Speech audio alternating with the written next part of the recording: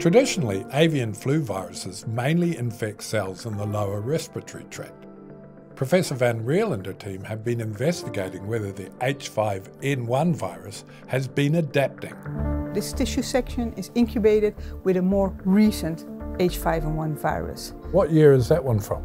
2022, and we see more attachment to these cells. So this one from 2022 is doing much better than the one from 2005. Indeed, it suggests that human can become infected more easily with recent H5N1 viruses that are currently circulating. Does that make this a likely candidate to be the next pandemic we need to worry about? We don't know. The attachment pattern that we see is not yet as good as we would expect from a virus that would cause a pandemic, but there seems to be a change at least. So it's a sort of intermediate phenotype.